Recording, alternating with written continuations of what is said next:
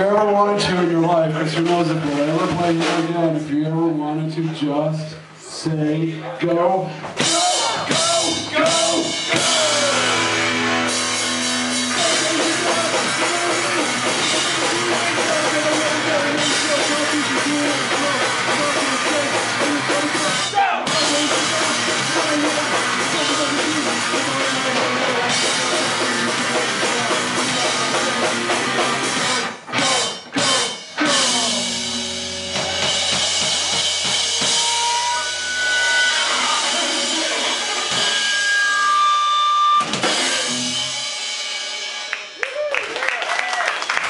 Thanks to all the volunteers who keep this place going,